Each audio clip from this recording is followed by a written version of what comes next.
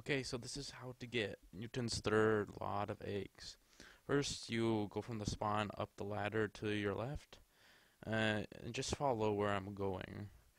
Uh, you typically have to go through a path, uh, a path of zip lines, so you really can't get lost. And uh, it, going through this course would be much more easier with an umbrella. So if you have that, it should be uh, more easier for you to get uh, the Newton egg.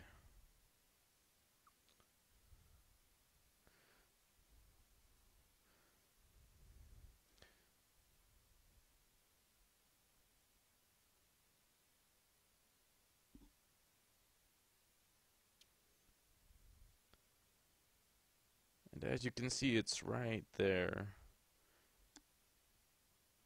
Nice egg.